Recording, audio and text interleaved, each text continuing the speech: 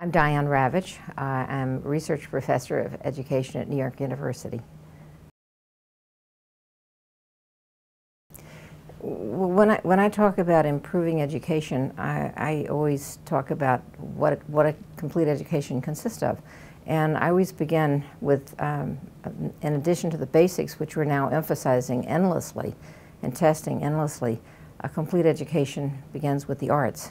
And it also includes history, and civics and geography and the sciences and foreign languages and physical education. Those are the basics um, to me. But I always begin with the arts because to me the arts are such a, an elemental form of human expression uh, that it's hard to imagine having a, a, a, high quality of life without the ability to engage in music and dance and uh, to, uh, to do art, to appreciate art and to do art, both of those things. I think the arts today have so many different forms that it's almost impossible to list them because many uh, people, uh, particularly young people, are, are, adept at creating art in, in, digital forms, which I wouldn't know how to do, but I can enjoy them. Mm. Uh, but I think that when you see the response that people of all ages have, and, and in all cultures for that matter, to visual art, uh, to, uh, to dance and to song, you realize that it's, it's fundamental to us as human beings that we have to engage in expression and also um, uh, participate in, in, viewing other people's expressions. Uh, one of the things that strikes me is that uh, when you do art all by yourself and no one ever sees it, it doesn't really become art until you share it with others. Uh, this is something that, that I've learned about writing, that if you write just for yourself and you never show it, you write something and then you kill it on your computer, it's not really writing. Uh, writing is what you write to be read and not just by yourself. And in the same sense, art whether it's song or dance, is created to be shared. Well, I think that what makes art powerful, particularly, um, well, for people of all ages, but particularly for children, is the capacity to express one's feelings. Um, and, and that, that might range from uh, joy uh, to all sorts of negative feelings, but just the ability to have a format in which to express them and not to bury, bottle them up inside you. And I think art creates the opportunity for uh, a very uh, personal expression of, of uh, joy, rage, uh, all sorts of things in between. The arts are not a silver bullet in relationship to test scores. The arts are a fundamental aspect of being human. So the argument has to be made for the arts that to deny them to children uh, is wrong uh, because it cuts them away from one of the most important forms of human expression and spiritual expression.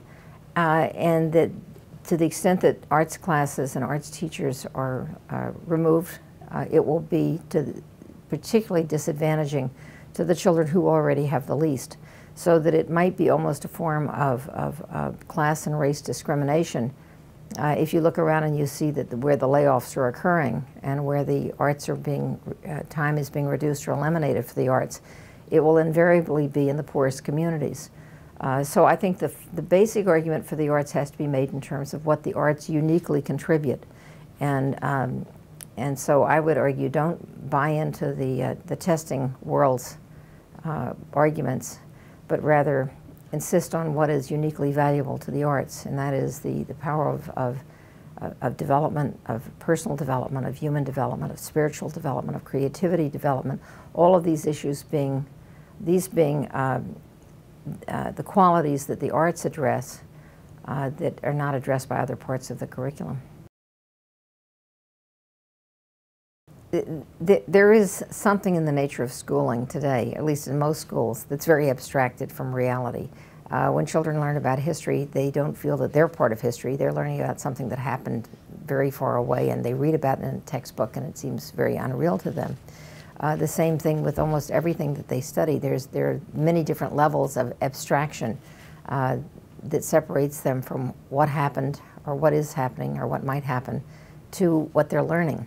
I think that one of the uh, unique functions of the arts is that it's immediate, it's real.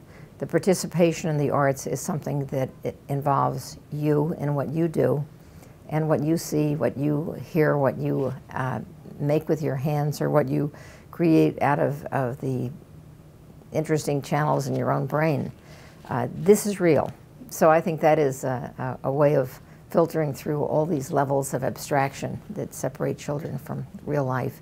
In a sense, it's uh, one of the reasons why John Dewey uh, wrote about the arts, because the arts are experience, and most other school studies, studies uh, young people are learning about other people's experience. In the arts, it's their own experience that they are recreating for themselves and for other people.